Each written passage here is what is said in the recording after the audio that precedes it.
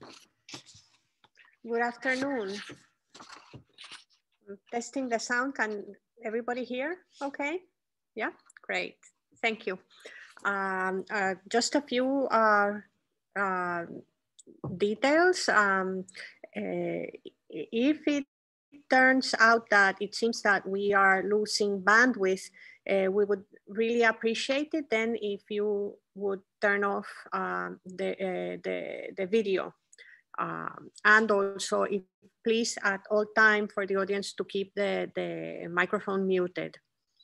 Uh, so that's, you know, the basic uh, part of uh, doing these Zoom presentations. Um, I welcome you all uh, here this afternoon for this um, uh, occasion uh, at the public examination. We are here gathered to uh, have the public examination of uh, Master of Arts Massimo Menichinelli uh, for his doctoral dissertation open and collaborative design process, meta design, ontologies and platforms within the maker movement. As the opponent, uh, we have Professor Elisa Giaccardi from Delft University of Technology in the Netherlands. Uh, as the custos appointed by the doctoral program committee of Aalto University School of Arts, Design and Architecture, I declare the proceedings open.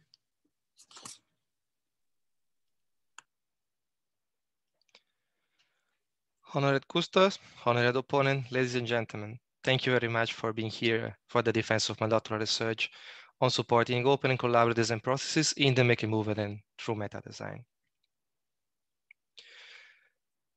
So the research is on, on the design culture of meta design, about how designers can design their own processes, environment, media in a self-aware and self-transformative way, while also acting as um, supporting the creativity of other agents. And the focus on is research and practice on meta design, especially on digital platforms for supporting open, distributed and collaborative design making process within the making movement. Overall, it's a overview and reminder that if made true that making is increasingly done through bits and atoms, the infrastructure that um, making require are very important. These are this layer that you see in some 3D printing objects that then are removed are less seen, but they're very important because they are the foundation element for supporting creativity. And this has been especially the exploration of my role of profile as meta design. So with a tangible metaphor as 3D printing myself as meta design through research and practice uh, with these foundational layers. So the context and motivation of this research can be found in several phenomena. The one that I would like to stress more uh, is how open source and peer-to-peer -peer became a very important phenomena, um, expanding from just software development or software application, from something very technical uh, to the possibility of organizing collaborative uh, processes in network that can scale to tens or hundreds of thousands of participants. Um, this is a phenomenon over the last 15, 20 years, especially that have been increasingly focused on how mass collaboration can increase the opportunity for creating uh, promising initiatives uh, working on organizational networks that are not traditionally centralized.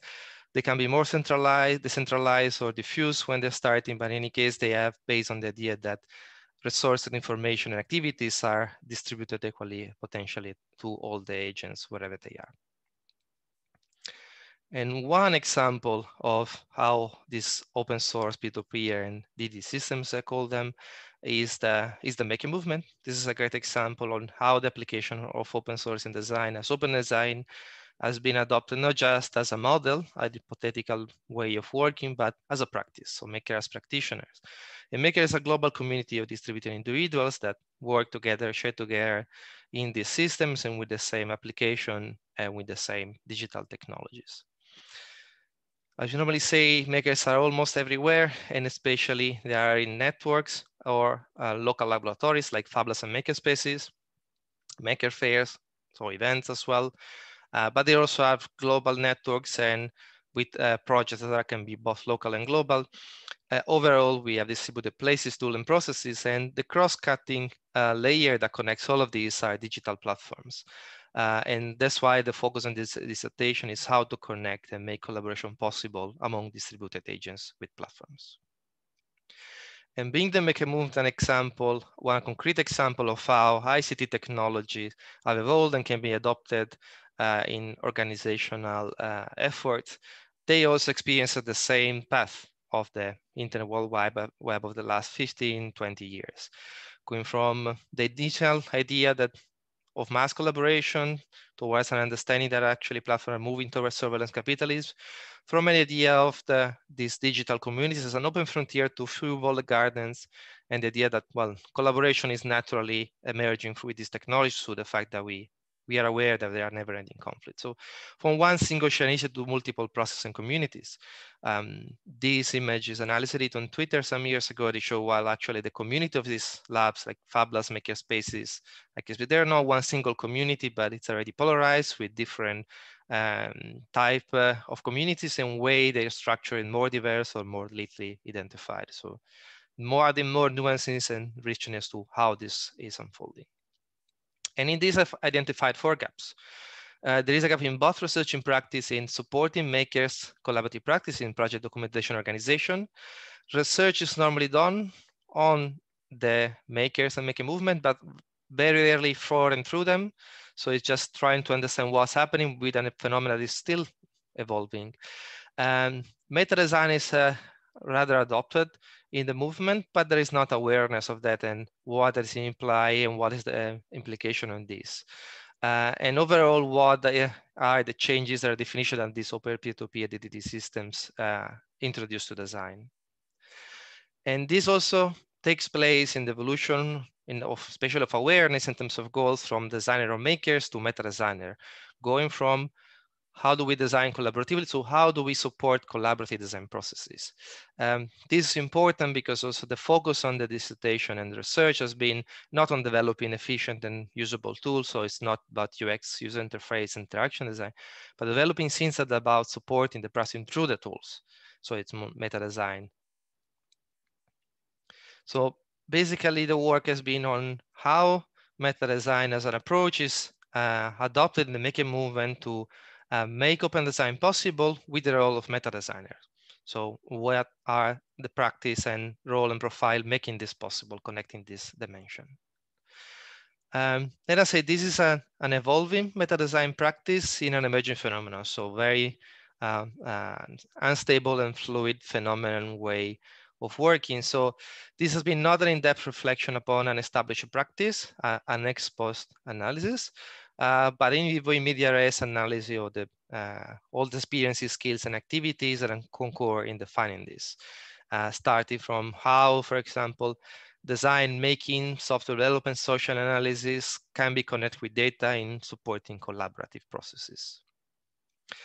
And this is also for separate examination of role practice uh, of myself as a meta designer in facilitating these distributed processes, starting as designer, researcher, student, facilitator, and participant of the movement, and developing this further into the research. The methodology adopted is uh, design as a method for inquiry. So design not just as a practice, but also as a tradition of research, um, which is tradition of own, separate on science of art, um, because it goes from the universal to the particular, trying to understand the real, create a real idea with the serving approach, uh, serving of others approach.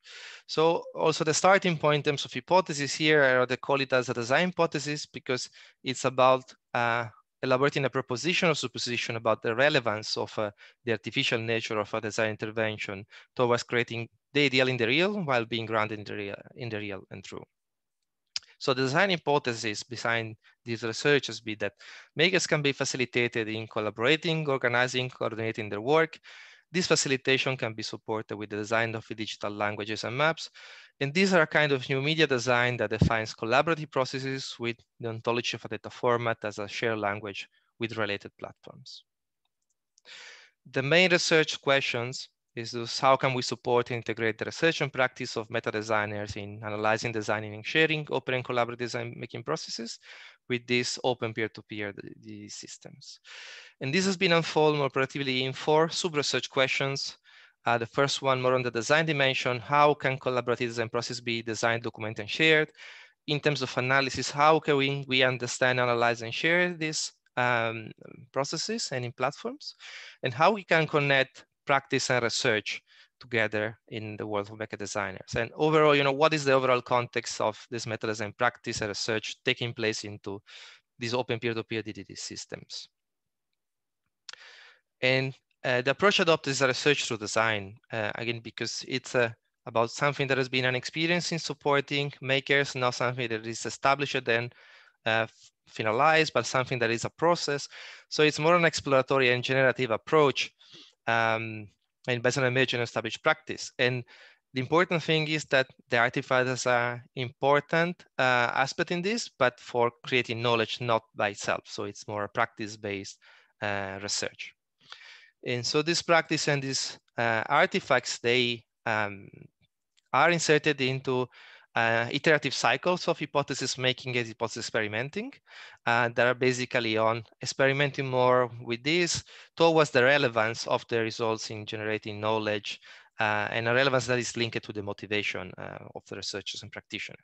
Um, and it's important because all the actions taking place in these, they take place in a continuum between a particular what the design is. So for example, a product to universal, what designing is for paradigm. So we have projects, program, and, and the practice in it that enable us to move from research to practice with several steps. The knowledge uh, elaborated in uh, these cycles and uh, by moving from research to practice enable us to uh, create design theories of, of a phenomenon, basically uh, and creating an explanation on how design is defining activities and artifacts through the practice. So these iterative cycles have been through uh, three main phases. In the first phase, uh, the work was on developing a set of design guidelines concept for supporting community in developing open and peer-to-peer -peer organizational forms with open and peer-to-peer -peer, uh, collaborative design processes. More how to inspire and suggest how to collaborate work in that and understand these processes. Um, the limitation of the still to uh, wide and abstract guidelines led to in phase two development of paper-based toolkits, canvas for sketching and discussing processes, and together trying to understand how to create uh, with a more structured way design process, collaborative design processes. However, paper-based toolkits are very good for um, working in the same place with the same few agents. So the next step, phase three, was to develop a, a digital platform for supporting and connecting distributed actors, but this is based on an overall framework that inform research and practice, research design, and the, and the platform. Uh, so with an ontology uh, defining design process that then connects with data, software, and design that you know create the platform that enable the design and discussion of such processes. And ontology here is at the center and it has several uh, important dimensions. On one side, we are working designing ontology, so as data structure. So it's the design material, we design them. This is ontology seen as data in computer science. But we are also working with ontological design. So we are basically uh, realizing that we are working with an impact on human uh, condition, human being, with worldviews that are social and in terms of the designers. And the work has been on connecting both the social and the dimension by creating ontology design processes. So this was developed then as a platform called Open Design. This is a real-time platform where uh, the, a project can be discussed and all this process and collaboration in this discussion can be seen. Uh, and then processes are uh, modeled and designed as activities that uh, flow through time uh, with different level of participation, with different places between the inside and outside of a community, and flows of information resources between them. Then each element of uh, this platform or the process can be edited and also discussed in real time, enable uh, users to discuss what is it.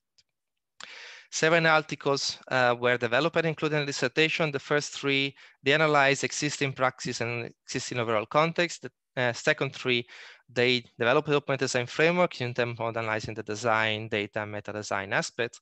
And finally, the last one documented the research study where um, the open meta design platform were tested and elaboration of insights and research design strategy. So three phases happen through the years with articles mostly part of the last phase and this also in reflection of all uh, these changes through time in both of workplaces and, and uh, professions. Four uh, research methods were adopted, literature review for state-of-the-art, design and development of platform, user testing, and social network analysis of the networks of interactions. Four contributions were developed. The first one is a research design framework that is foundational to all the other contribution because it, uh, it puts all of them together uh, and it's not just a description of what's happened, but it's also a research strategy, a research practice, and education strategy for the future. So basically, uh, we have the platform as a product, uh, the dissertation, the doctoral research as a project, the framework as a program, the pra my practice, and the paradigm of open design, peer-to-peer -peer design. So this enables to understand where research and practice are and how they can be done uh, in this context. This also expands the idea that research design can be done on the lab, the showroom, and the field by adding the maker laboratory, the community, and the platform as settings for research design. Then we, the next contribution basically say that what meta design does in this context, designing processes with digital ontology design material. So again, starting with the open design framework, the create platform for designing processes. And this impact the life cycle of a project, you know, from designing processes that then generate networks of interactions. These networks create an organization and then a governance in turn for managing the organization and, and the processes. And lastly, our community mediate basically between the lifecycle of projects, the platform and the process, mediating also between local and global and with the world The third contribution say redefine meta design within the context of the maker movement. So meta design work uh, here with open P2P systems by creating open projects that can be used in open projects, but also by creating fully fledged uh, meta design approaches that are work more on the organizational aspects of these processes.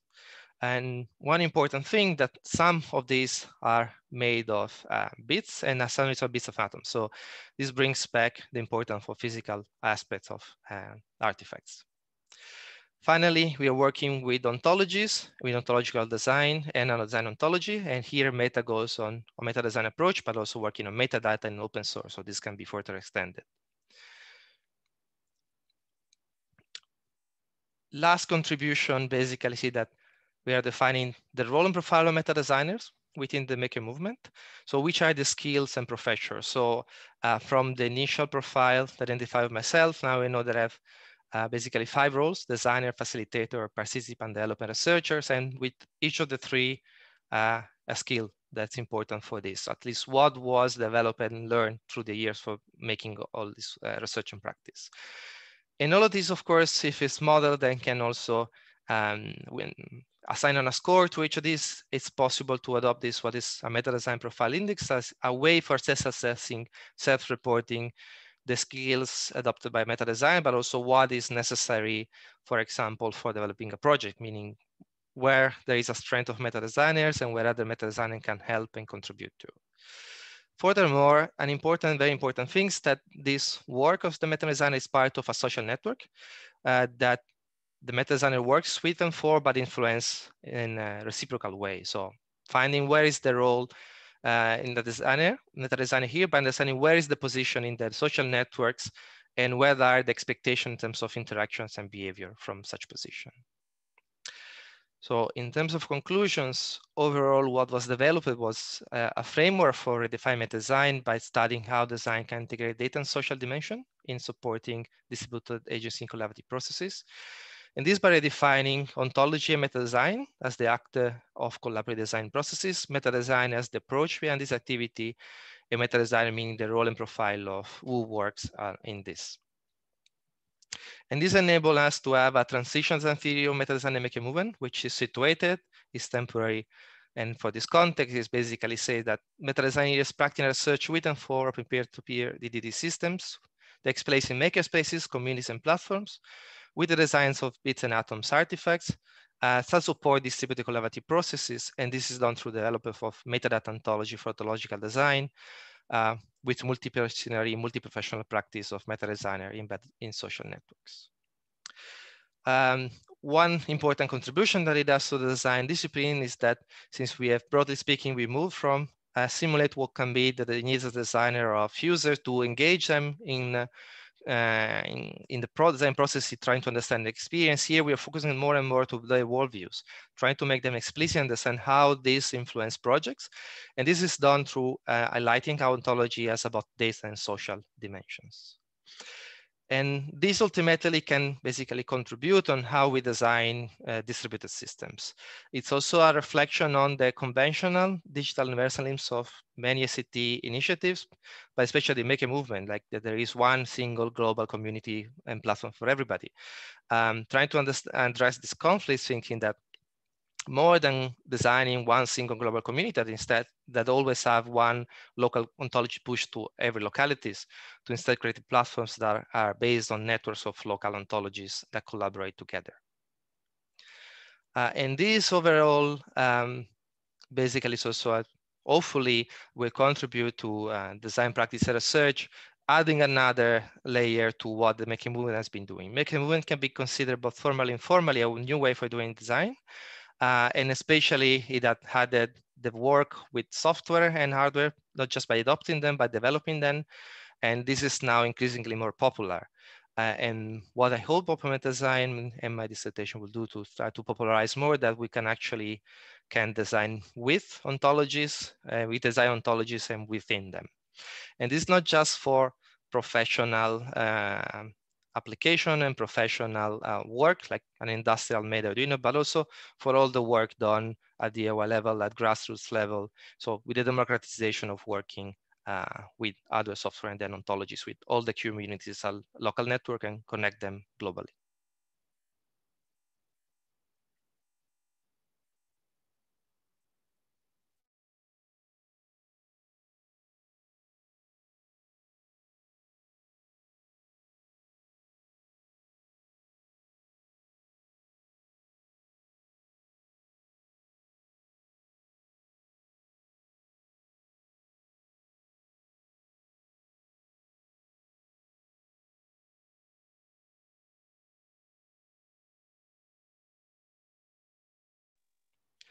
Uh, I ask you, honored opponent appointed by the doctoral program committee of the School of Arts and Architecture to present the critical comments on the dissertation that you find well-founded.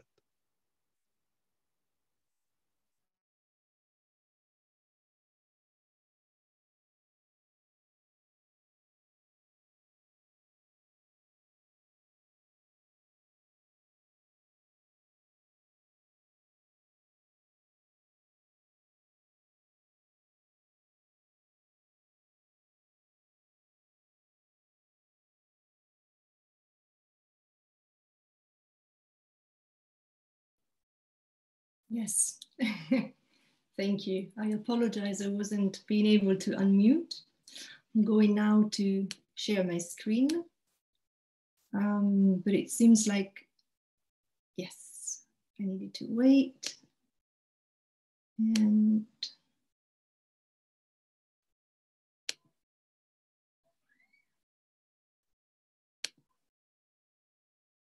yes. Uh, can you see it? Can you see it well? Yes? Okay, super. Um, dear respondent or dear Massimo, I have read the thesis and I would like to introduce my line of questioning with a brief reading of the work. To understand this work has been important for me, and I believe it's really important to position it as a research journey rooted in practice, and specifically within the shared projects, events, and discussions of the Maker movement, as you nicely introduced. Now, while we might easily expect to find an image of the Arduino kit that you just showed in your last slide, or perhaps other kinds of electronics kits and 3D printed artifacts and the like. The figure here illustrates well how the maker movement is approached in the thesis. And that is as a fundamental framing of the maker movement as a case for understanding and supporting diffuse, distributed, and decentralized design processes. In my reading, the main underlying questions are two. The first one is how do we position the act of making in relation to diffuse, distributed, and decentralized design processes? And the second question is how do we then approach such design processes as a design material? The answer looking at diffuse, distributed, and decentralized processes ontologically as software and reconsidering also what software is from an ontological perspective. Based on such conceptual framing, methodologically expanding the notion of meta design and the role of meta designers within the maker movement. The two went hand in hand over a research journey of 15 exciting years of active participation and reflection in and upon action within the movement itself. The final proposition, or perhaps more correctly, the transitional design theory, as you like to call it, for on, on uh, following on Johan Redström, that is offered by the thesis is open meta design. This is both a conceptual framework in which meta designers are considered fundamentally as participants in social networks, enabled to act according to the fluid spectrum of roles from designers to developers, to researchers, or simply facilitators,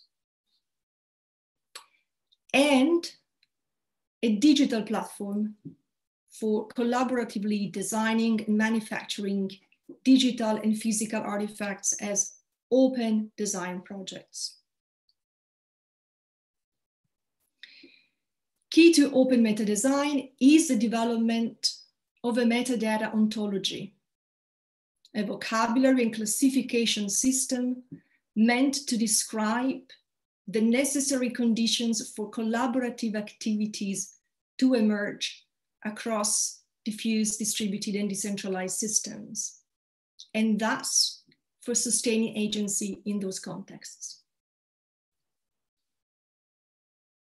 So concretely, what we're looking at is a digital platform consisting of an online environment and a data format that allow users to collaboratively design both the governance of participation in the design processes and the organization of the actual flows for the design and manufacturing of digital and physical artifacts.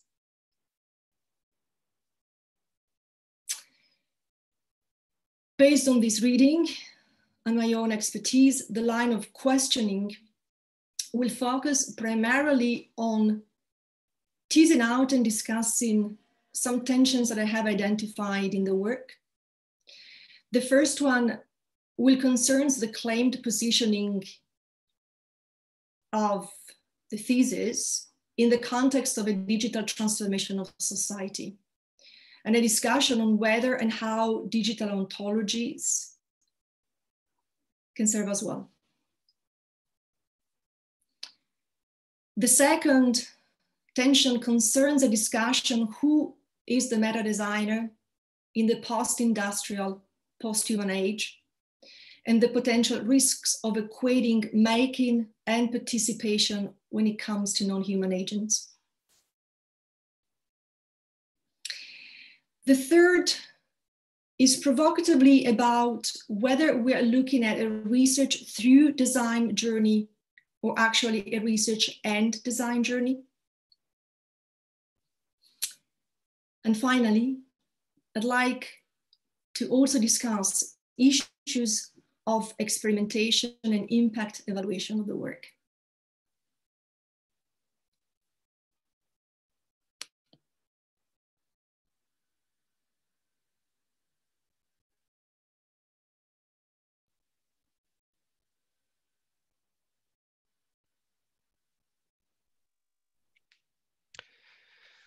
Uh, I will reply to these uh, four points then.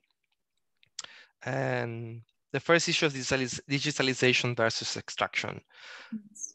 Massimo, uh, perhaps. Sorry if I interrupt. Um, I have specific questions for each ah, okay. of them. Perfect. So that probably will make it easier because altogether it's quite a lot. yes. yes. So um, I'd like to start our discussion talking about uh, the tensions between um, what you identify as, on one side, more eyeballs for better solutions, and on the other side, more eyeballs for more surveillance, which is really a nice, interesting framing. So there is a deep motivation in the work that I really appreciate, looking to an extent also to the dark side of social movements, which I think has never been more appropriate, and a very nuanced consideration of their social, economic, and political infrastructuring, and the need for mediation and negotiation beyond what we actually make. And uh, you do say, indeed, designers that work with platforms are caught in this tension between idealized open participatory systems and the opaqueness of value extraction that we are increasingly seeing coming out of um, the platform capitalism that's been enabled by uh, the, the type of technologies um, that, that we, we're dealing with with this work. And, and so there's this tension between digitalization on one side and value extraction on the other side, between collaboration and conflict.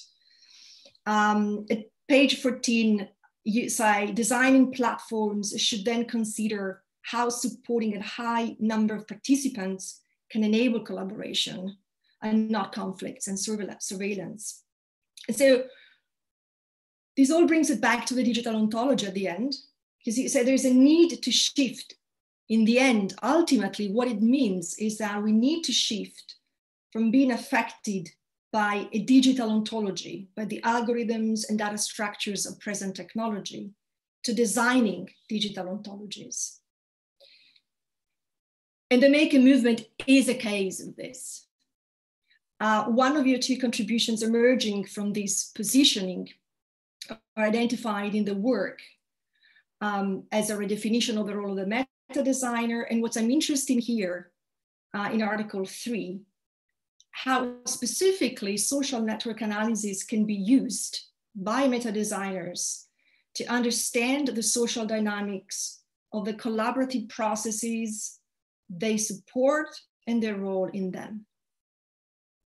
At page 94, you say, by analyzing their position and centrality in the social networks of interactions, meta designers can then extract and analyze metadata of social interactions and use them to define the social boundaries for the definition of digital ontologies of specific communities. And clearly here you're referring not just to data formats, but clearly also to worldviews.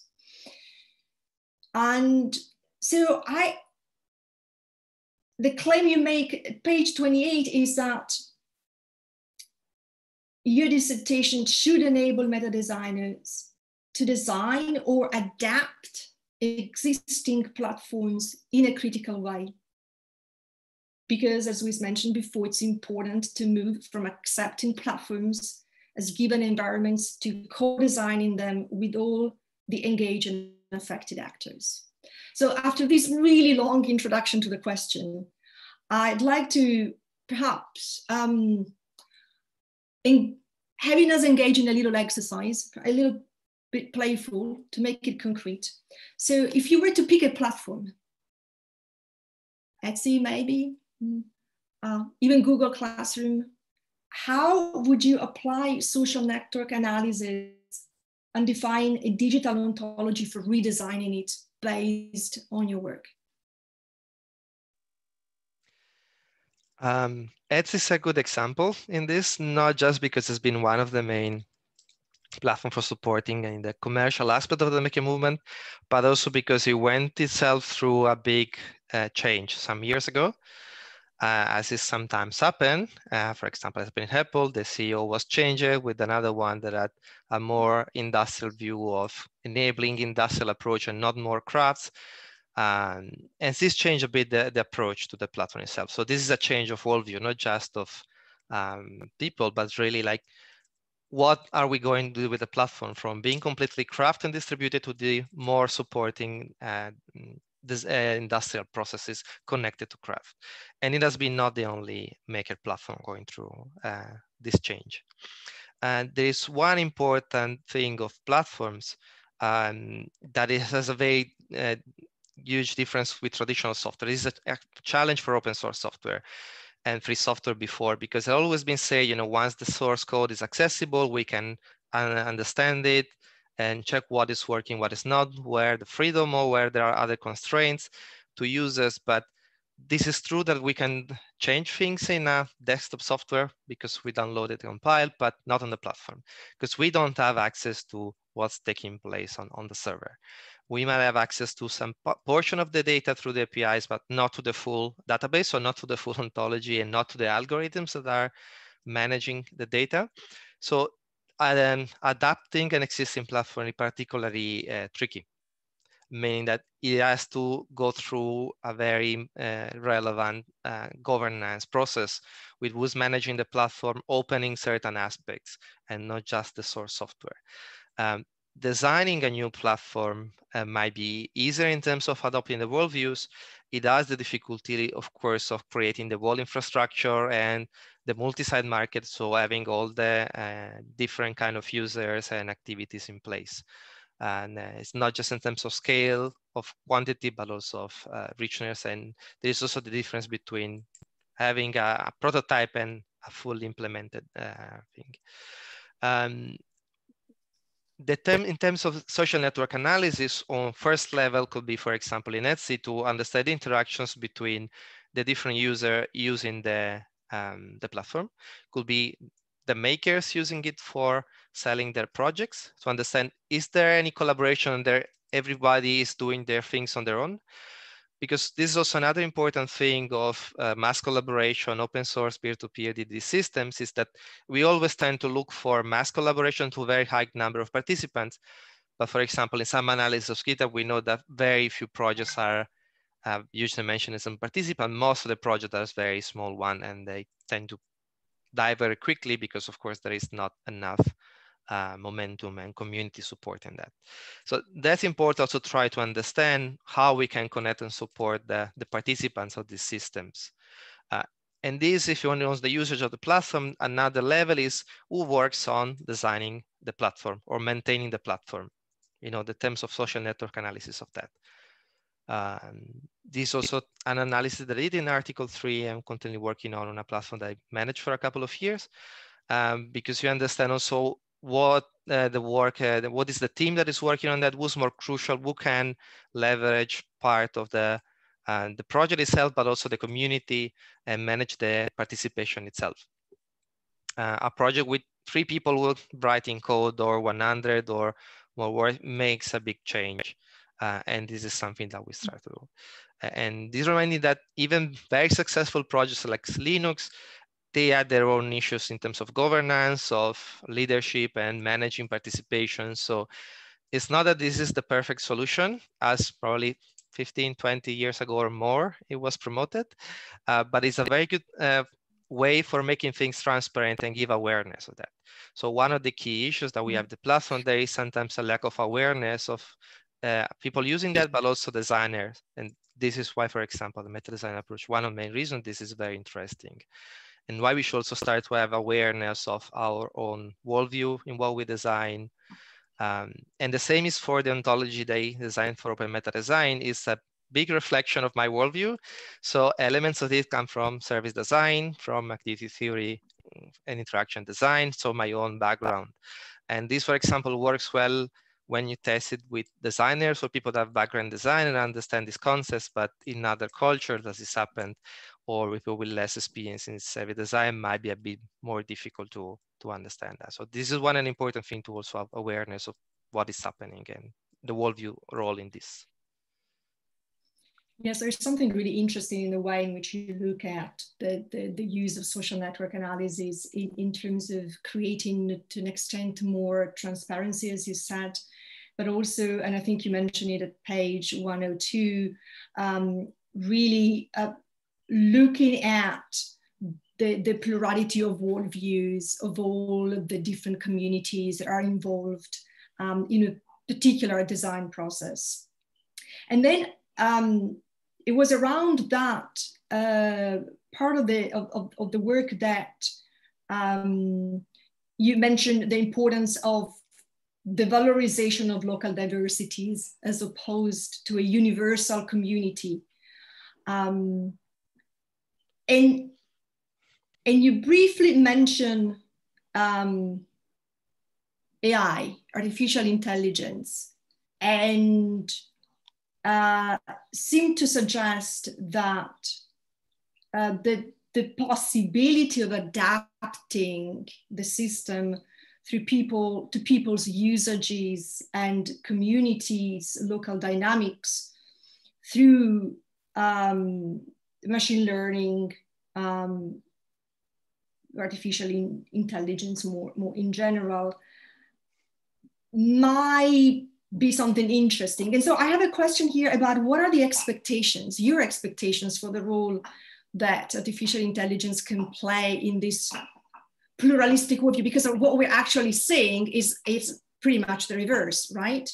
Um, can, can really help out for cosmopolitan localism? So that one big tension is also between how many ontology we should have. Like one yes. single ontology, everybody, we know that it's having some, you know, problems, um, but we don't want to get to the point where we have an ontology per each person. Otherwise, it will be completely impossible to discuss. So, for example, um, finding the communities with the, their own boundaries with social network analysis is a good way for finding, you know, until which one worldview is valid, and then where we have another worldview, more or less. This is also, you know, the paradox of frontiers between countries, regions, whatever. But might be good for understanding that. And this is also important because when you identify these communities, you're never one person. Also, in my case, you are never only part of one community. So, for example, I can identify the percentages of communities making my own profile in the Maker Movement and understand the diversity in this.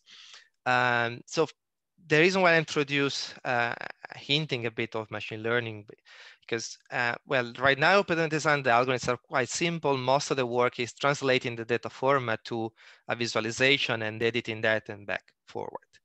Um, the social network analysis is done separately, and everything is open source, so it's transparent. But there is not so much in terms of a very complex or black box analysis that we will have in many machine learning. Uh, but this might be added. But there might be also one important thing. If we want to find a middle point between one ontologies and 7 billion of ontologies, uh, we need to find some common elements. And I identified some um, in Open Meta Design with the ontology that I created and also added in the dissertation for this exam for this reason.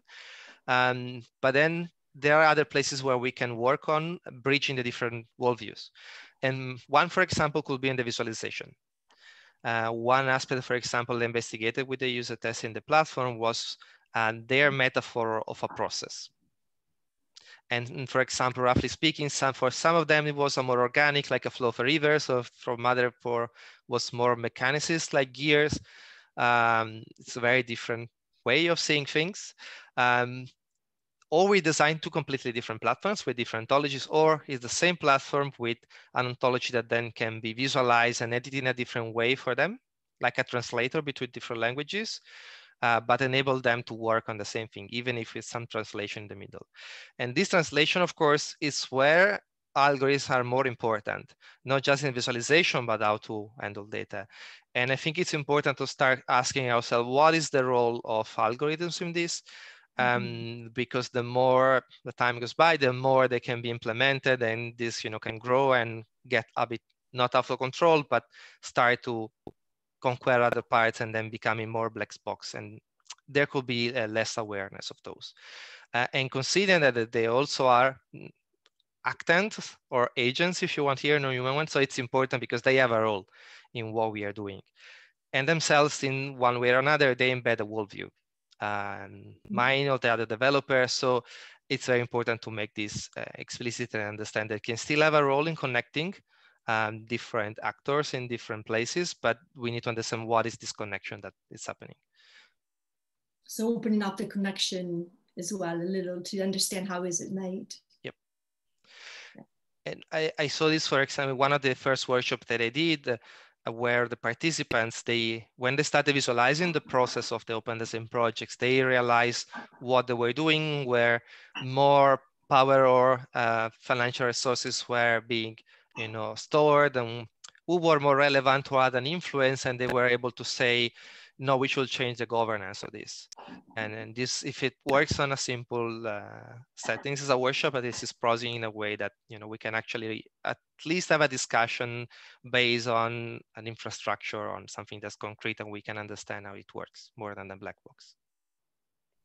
This is a nice lead to uh, perhaps discussing uh, issues of making a participation when it comes to an age where we have actants are not just um, human, but also non-human. And of course, already the non-human is present in your work.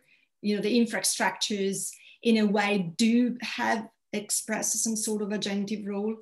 Um, but at page 31, and you explicitly mention a new perspective of agency and the participants in design projects also redefine how we design and whom we design with and for. And later at page 112, you open up uh, Manzini's um, argument that not that everyone could be a designer, adding that everyone could actually be a meta designer or at least an active actor in the meta design ecosystem. And that's where you uh, expand um, notions of agency towards the post-human, saying that non-human actors, like for example, artificial intelligence, can concur to the development and management of the meta design ecosystem and therefore can be considered non-human meta designers as well. And here, I'm trying to, to tease out, because I find myself very much aligned with that argument, but I'm trying to problematize in a bit what, what is it that we're looking at here. Um, particularly from the perspective of the open meta design framework, where um, an activity theory approach is being used um, not just for design of mediating tools and objects, but also increasingly to define subjects, roles, and divisions of labor, and therefore enabling conditions for collaborative and distributed processes.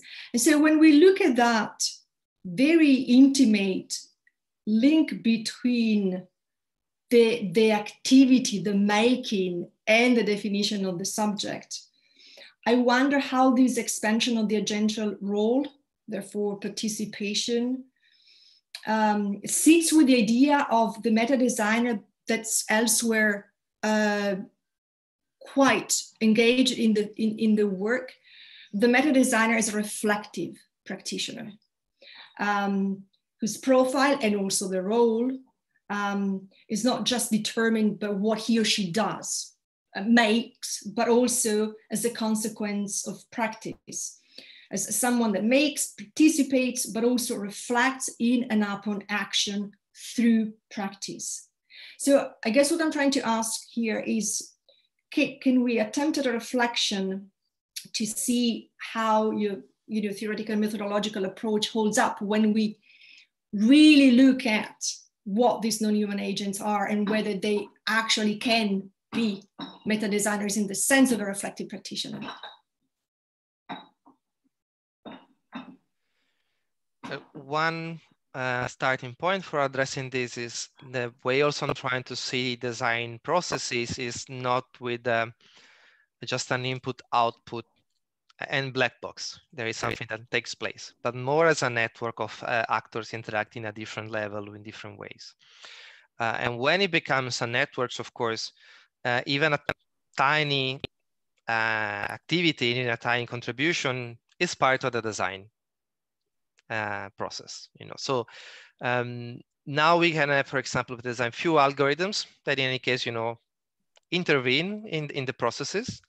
Uh, when you use the platform, of mm-hmm. course, uh, the algorithms are you know, just you know doing the visualization, but they're entering the data. So in any case, they already have a, a role in that.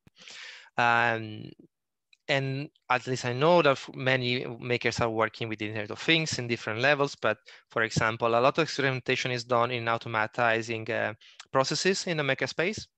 You know, adding IoT to 3D printers, laser cutting, and try to control them.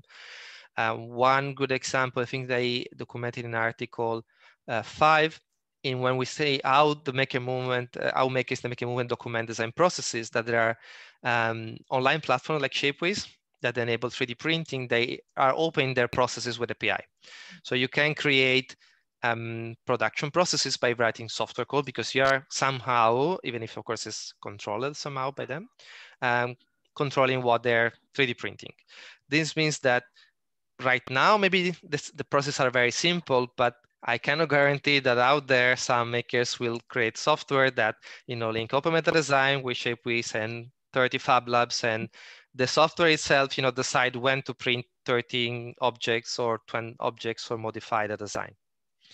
Uh, and this is important because when we deal with this kind of open systems, I, um, we need to start preparing uh, what could be happening, or at least understanding that, of course, a bit uh, of what's happening on the interface is out of our control.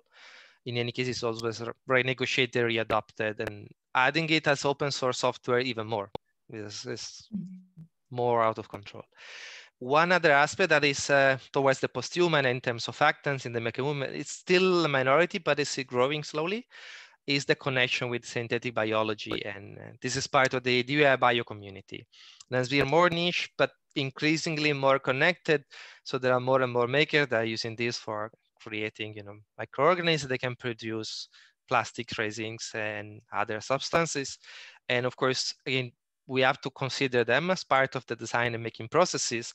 And right now, typically they're very small example. and if they start to connect with data, with hardware and software, all of the, I don't know, bacteria culture for producing the plastic with sensors from the environment and connecting with another platforms, then we have production and uh, design and production systems that they are a complex uh, scenario of different kind of uh, agents that work together. Yeah, I mean, um, I I quite agree with um, with this argument, and um, I myself do do believe that um, algorithms and and living organisms um, in these new uh, developments of, of, for example, biodesign do very much participate in the design process on their own terms and that we'll need to look at different ways of understanding our relation with them uh, within the, the, the, making process. But I, but I guess what really sparked my reflection here um, is whether we can not only consider them active participants with their own logics and their own worldviews, um, to which we need to relate somehow um, in, in a different way than a tool, but whether they, these non-human entities have expressed a practice and, and therefore are an entity that is deemed um, that's capable of reflection so it, it, was the, the stretch from the from the active participant all the way to the meta designer as a reflective practitioner that um, that has that ability of looking back um, to what has been done and, and build on that. That might probably be the criteria for defining whose designer was meta designer, whatever type of factor is, uh, in terms of awareness. Mm. Um, and of course, through the year, I've been engaging a lot of discussion what is meta design and typical. A, a, lot of comments are, well, then you have the meta and the meta of the meta, and then it never ends. And they will say, yes, of course, this is what happens with systems, because yes. even if they make a movement a lot of making think that every is about making yourself everything from the chair to the table to the uh, uh, computer and the building. Of course you you don't do that. This is too complex. You need too much energy information knowledge and expertise and materials to do that. Uh, so understanding where to put the boundaries of a system is very important. It's one of the first steps when doing social network analysis understand at which depth we want to go and explore the network, for example in a snowball sampling or in an ego network, at which degree we want to stop. And typically it's one or two because then it's too complex and it's too big that we can really handle. And it's, it's not, it's just creating the system, but also seeing the system is too complex. And so most of the time it's an issue of being aware uh, that you are a part of a process and the system that you can actually design it. It's not that you use what is mm-hmm. given. Uh, and then these in turns change you and body condition. Um, then, of course, the issue of awareness is something that it's a bit more complex, especially when algo we talk with algorithms or even with bacteria and so on. So it's a, it's probably something, of course, we have to redefine what will be the awareness in uh, computing yeah. information if an algorithm is for bacteria. Um, I don't know so much, but I don't yes. know, maybe a bacteria is more able to understand it's part of an environment than an algorithm yet. Yeah, we don't no, i don't know but I think you, yeah i think you phrased it really you framed it really nicely right so it's just not an issue of participation but also awareness and how we reframe awareness in this context perhaps more in terms of responsiveness and, and being able to understand that they're part of the process and how to respond to that it's quite interesting.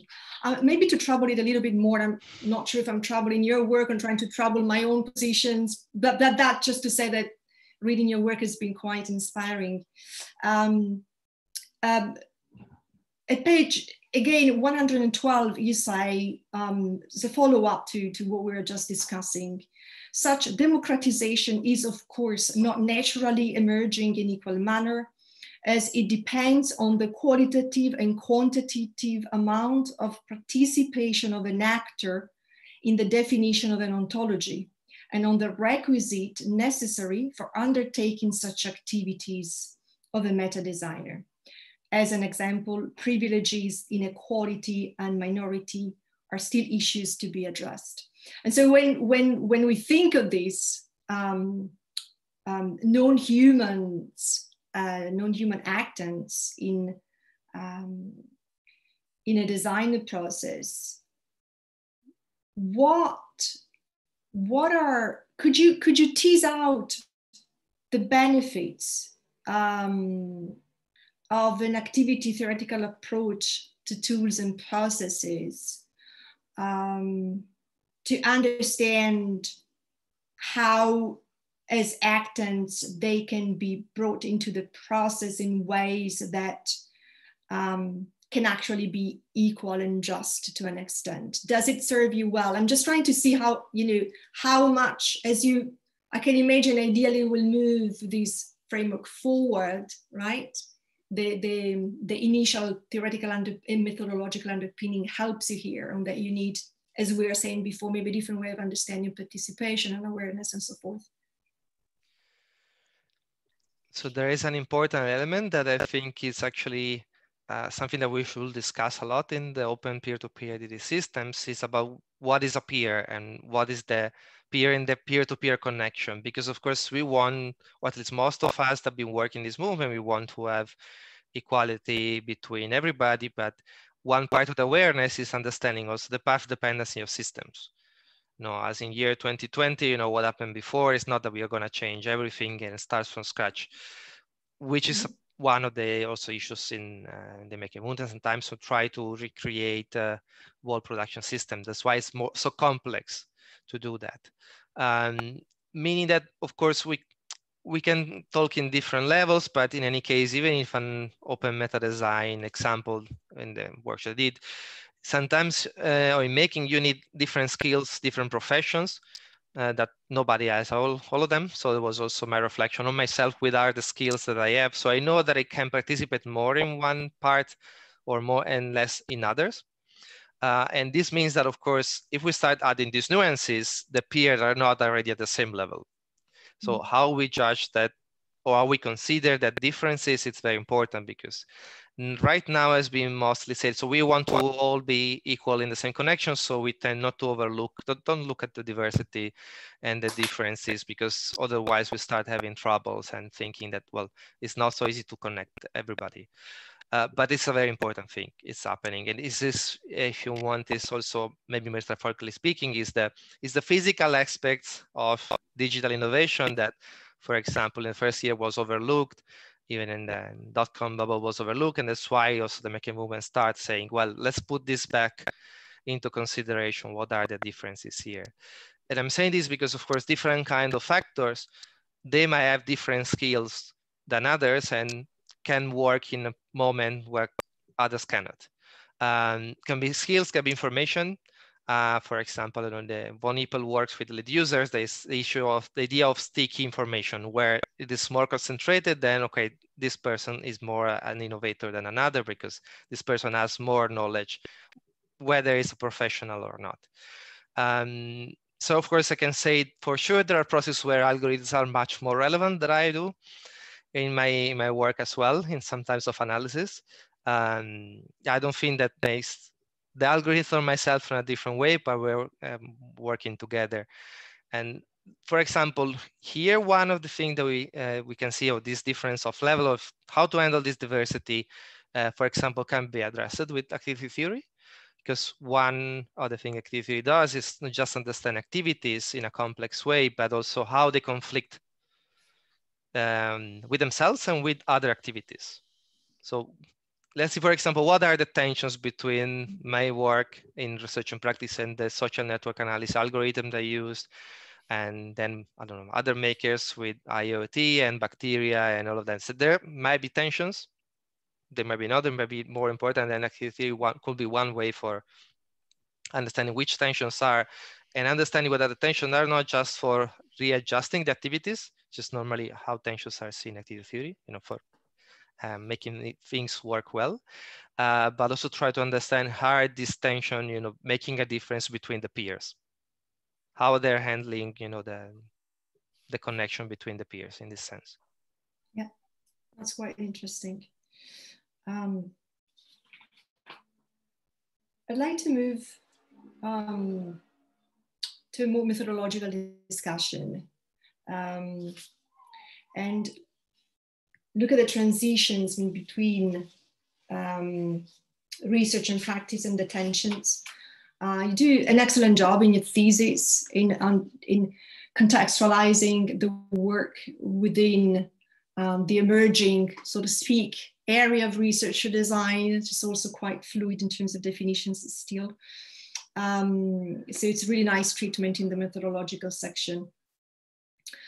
Um, at page 104, you say, in the research design process of this dissertation, the artifact started as a conceptual methodology and then became a platform and ultimately ended as a reflection on ontologies of both the digital technologies and cultural use. You also explain this in your um, um, in your slides at the beginning. Um, so retrospectively, the ontology really becomes the main artifact of the research and design effort of this work, um, and also the foundation for uh, much practice and research. And this is reflected, as you say, at page 56 in the practice dimension by your interest and how it shifted increasingly from teaching digital fabrication technologies, making processes, and open and collaborative design processes to instead facilitating them, uh, participating and directing organizations, and later managing the development of digital platforms that support them. Um, so the research hypothesis as a result of that, the questions, the methods, and the activities really have reflected this shifting of perspectives that emerged through practice and where, as you say, page 56, subsequently updated, rearranged, and reorganized several times. And it's quite, though, although it's quite common in a research design that there is a, a significant um, element of retrospection to make sense of what has happened. Um, at page 61, following Zimmerman and Forlizzi, you argue that your doctoral research has followed a philo philosophical approach. Um, so an approach that where the research question is formulated out of an existing theory um, or philosophy and then investigated with an artifact rather than being um, a more grounded approach rather than focusing on one specific context, meaning um, one approach where the research question instead emerges from the focus on real world problems and the artifacts designed towards them. And so I, I'd like to argue that your practice was actually quite grounded in, of course, and your research was indeed quite philosophical. And that somehow they proceeded quote unquote separately, according to what Redström would identify as a parallel or at best sequencing tactic. How would you respond to this provocation? Um, the let's see where to start from. So the the ontology is, uh, is one of the main artifacts, but this is something also that emerged through time especially with awareness. So like we know that we need the data structures that are the core of any new media design. You know, basically any new media artifact is a database with, with an interface. Um, but it is a big step from saying, okay, we need to design a data structure to the data structure is connected to the worldview with the people working on it. So this uh, starts processes of governance, discussion, conflicts about that. Um, one of the main things that was very important also in terms of my way of working the research through the years was how uh, can we do research through these years where this practice is changing a lot.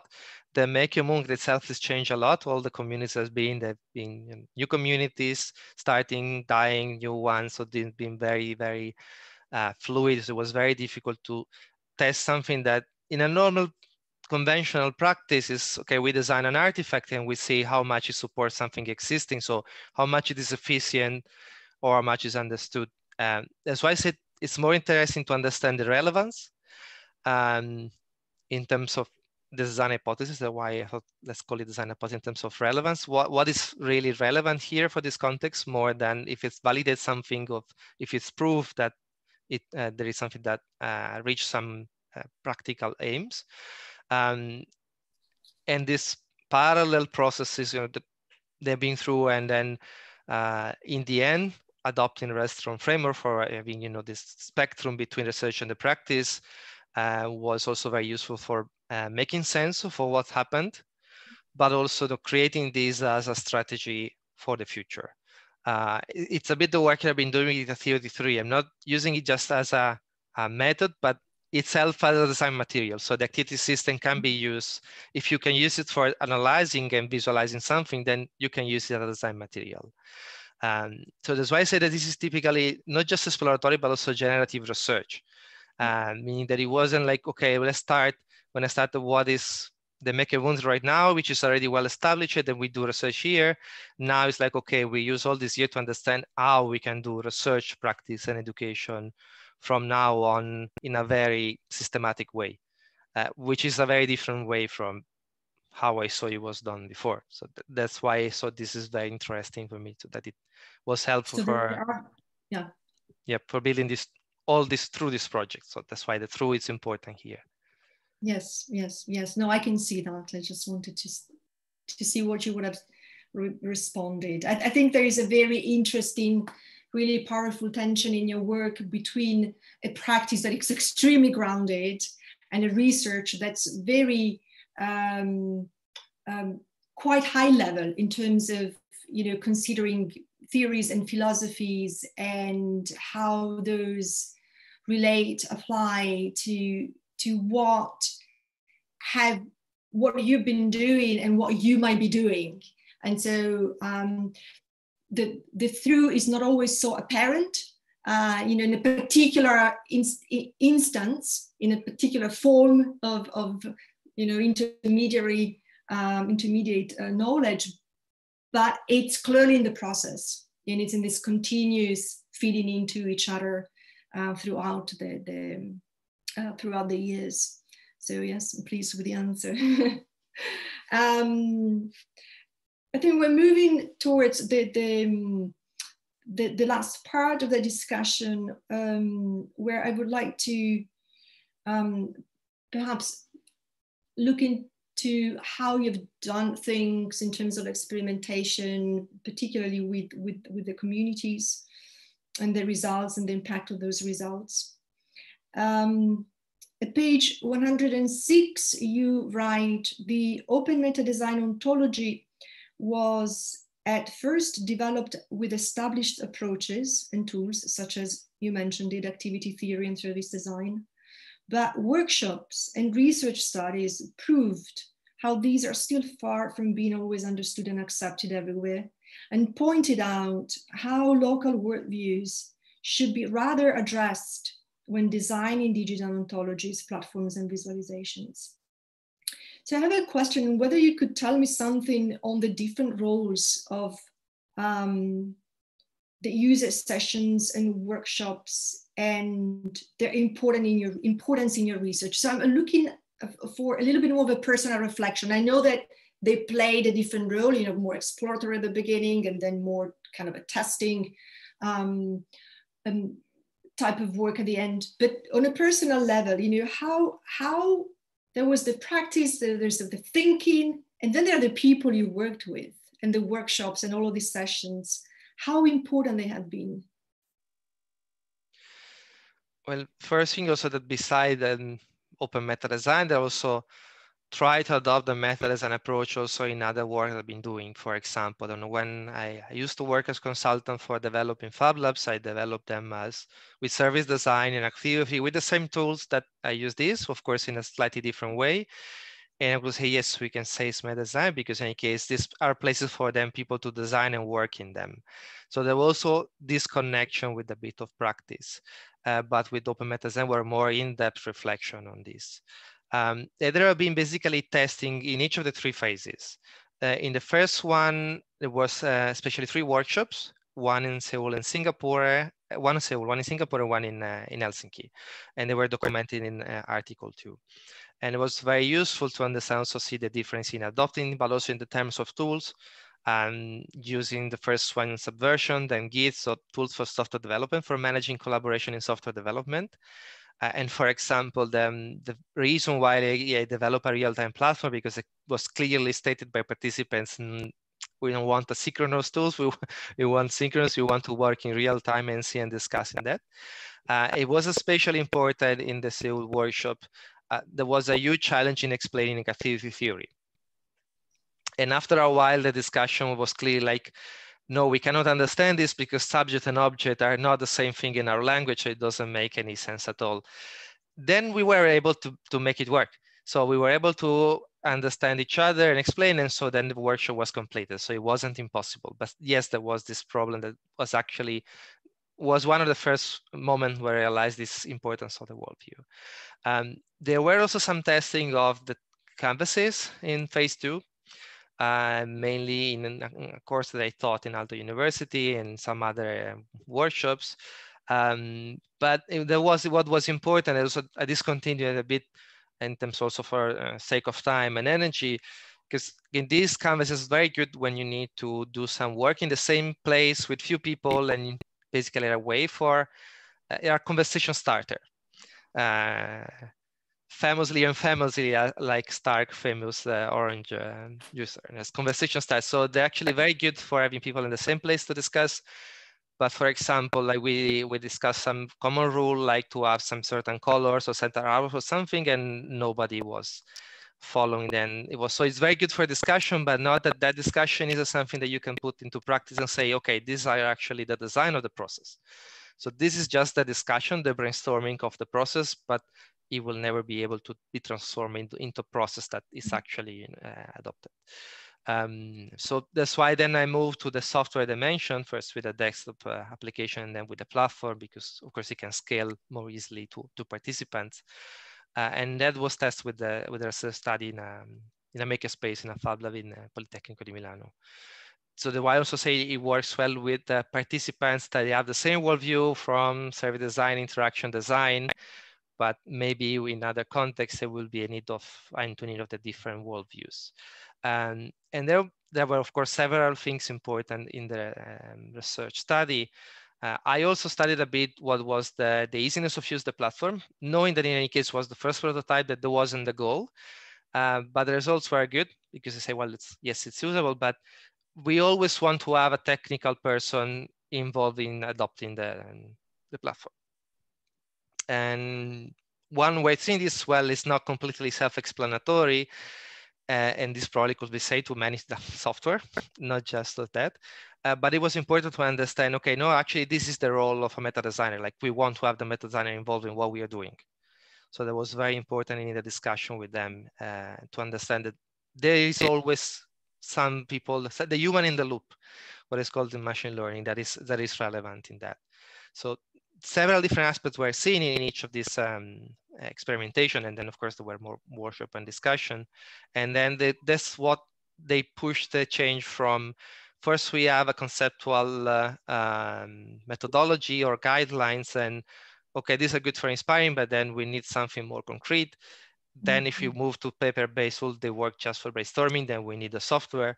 And then when the software and human actors also in it for uh, working together. So that was very useful in terms of uh, the overall uh, process of the research, but also thinking that it probably mirrors a lot of work in design going from the conceptual to mm-hmm. prototype, paper-based prototype, and then to the finally working platform, which, which is completely working, is ready for deployment, so it can be used. It's not a mm-hmm. prototype. Yeah, so I'm thinking moving forward, uh, you know, it's clear that, that there has been a development also in the way in which you have approached working with um, with humans, working with people. And um, of course, in the thesis, you talk a lot also about uh, network science. We discussed it before, social network analysis, and just in general, um, uh, data driven, data informed um, type of research. Do, do you see it still a complementarity between these more that informed ways of gaining insights and understanding processes and the type of less less formal harder to formalize but still their insights you can gain from um, engaging with with people on a more you know on a different level that's not mediated by technology in, in heavily there was also another very important experience, and I would say very positive, in adding data-driven and quantitative approaches to understanding and how design can unfold. Um, because it creates a bit more of the systemic view of what is happening. And it was also very useful for understand myself, where am I? Knowing that it's not neutral, so the way I create the software that analyze the networks, of course, you know, there might be bugs, there might be mistakes, there might be conceptual mistakes, technical mistakes. So that's why I publish everything uh, openly so can be checked. Uh, but it was very important to understand also the, the role of this, which is probably not used enough uh, already, you'll say. Um. This is one other important thing probably to say to conclusion. In general, like if you want to work with ontologies, then we start working in understanding data structure, then also understanding the complex part of uh, the processes is very important to uh, to bridge the, the local, if you want the particular with the, with the not necessarily the universal, but a bigger uh, scale particular to understand where is that taking place and how it interacts. And they don't necessarily um, conflict with each other, the quantitative and qualitative, the data-driven and, and, the more human, uh, but they need to be understood and put into context, understanding these tensions. Yes, and probably iterated recursively, no? I suppose. Yes. Yeah. Yes, for example, the analysis on Twitter have been already to three iterations yes. with different approaches yeah. and improvement. Um, you, uh, in your work, uh, talk also about issues of validation to some extent. Um, page 50, you um, you write, validation of practice and research can also be elaborated from the quality, acceptance, and outcomes of the artifact. And, and, and, um, and you write that specifically when you're describing uh, the, the workshops and um, the function of the workshops within, um, within your process. So um, this is in res with respect to, um, I think the workshops in phase, um, in phase, uh, in the last phase, so article six. So these workshops also represent some of the first tests for understanding the viability of the application of open source and P2P principles, tools and practices of the open meta design framework. Um, so that's the way in which you frame validation with respect to those particular workshops and those particular tests. And then later at page 100, you also say developing a test in an artifact is though not just it is not just a way for improving its effectiveness, usability, and experience, but rather for planning its development between research and practice. Um, it's the foundation for future research and practice, and therefore, its validation and improvement should come from evaluating its implementation in research, professional, and educational programs, and the positive impact on collaborative design processes already established or to be developed. What so so in this second statement, of course, you're looking a little bit more forward, and my question here is what kind of action and impact evaluation are referring to here concretely? What, what, what, where would you like to bring open meta design next? Well, uh, as I said, it is, there was a design hypothesis, not an hypothesis scientific term. Let's say that it's does design validation, not a scientific validation, meaning that it doesn't look, I didn't try to look, okay, this is real, this is true, you know, this is something, it's an mm-hmm. explanation, but the term's relevance is important. And you know, being a meta designer it was on two levels, on the meta designers and on the agents supported by the meta designers. So in terms of the workshops, you know, I ask, you know, not just the quality of the platform itself, but how they could see the participant is to contribute towards, you know, the make a movement, and, know, and to different extent, to different aspects, they, they ask it, uh, they reply to that. Uh, and then in my own terms, it, I found it very useful because then I was able to uh, basically start part, if not all, for the contribution from evaluating the results. So it was highly relevant in that terms. Um, and for example, one other element for this for the future is also that the whole questionnaire and the software for analyzing the questions and the research study is, is open source. So it's an open science approach. And not just because of course there were a lot of content, so it's easier to share the data and the software, but because the same questionnaire, even if tweaked, but can be used for the next steps for other version of the platform, other worldviews. Um, so it, it was also, it's part of the elements, all the artifacts, the flavors, not just the platform itself, but also with the software for analyzing uh, the interactions and so on is part of this system of elements. So that is ready for future development.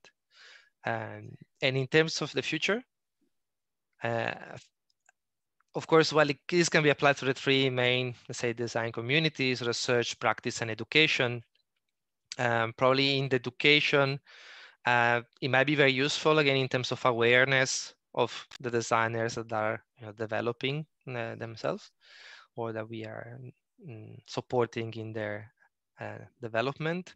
So that is probably where a lot of experimentation in these terms can be done. Uh, in the practice, probably there is a, an important step forward to understand with of the Making Movements Interactive that was actually doing meta design, that they're doing meta design, that they should be aware of that and use this um, forward. and in researches actually can be can bridge a lot of research and practice working with data ontology uh, in design. So even if it was not directly in the maker movement, but working with data and uh, software and ontologies in design can be uh, mm-hmm. can be can adopt this. Yeah, you, you identify some some nice indicators in Article 6, moving from the experience of the user to their understanding of the process to the social interactions among users, all the way to the to the practice of the users um, and the communities more in general.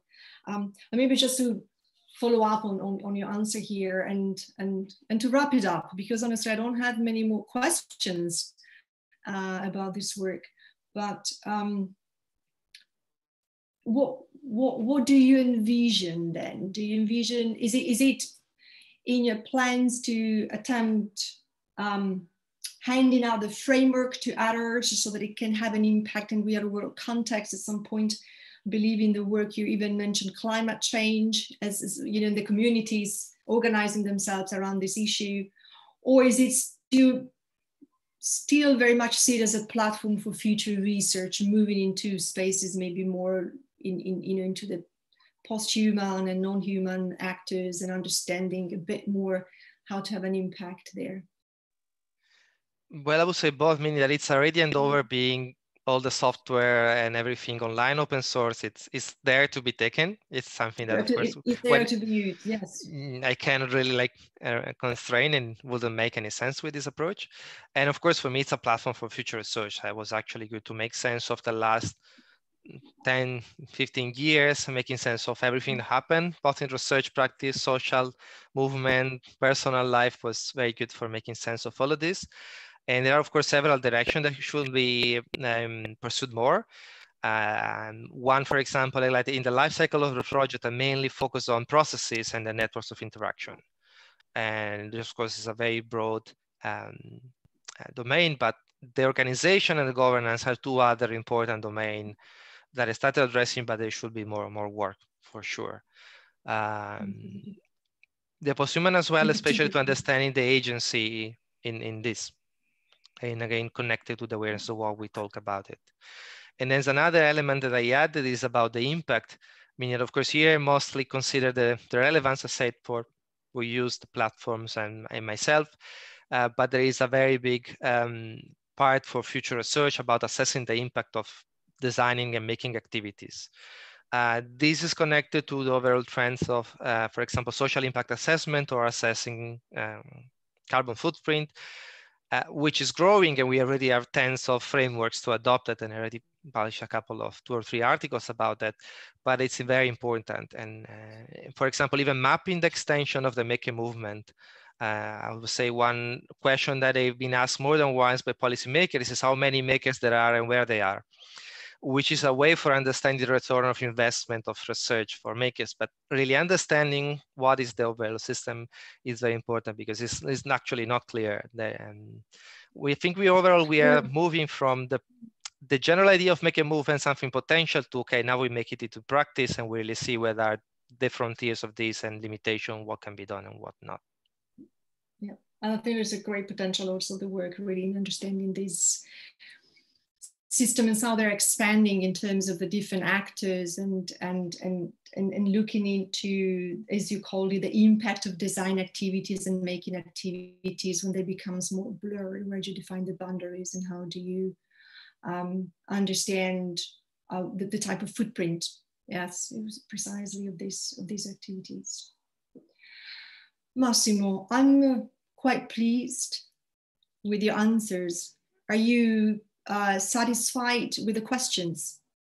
Yes, thank you. Very well.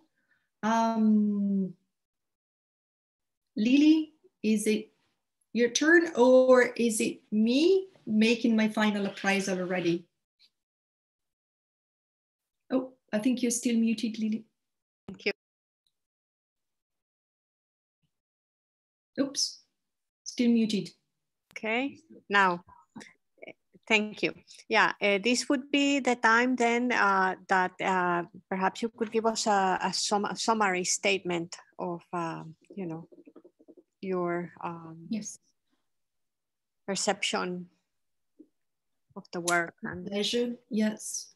Um, I really applaud to what is an extremely rich uh, work. Um, it has been honestly fascinating to dive deep into your uh, into your thesis um, and to see how despite the, the, the richness and the complexity of what is addressed in this work, there are some very, very clear um, epistemological commitments and, um, connections between the different concepts and how all of this is manifested in the in the final proposition or as I as I, I really like that you pick on the transitional design theory um, expression of what the outcomes is. So it is with great pleasure that I recommend to the uh, doctoral program committee that the dissertation is accepted. Thank you very much. Um, I think it's now the moment if anyone present wishes to make any comment concerning the dissertation. And in that case, I would like to ask the custos for the floor.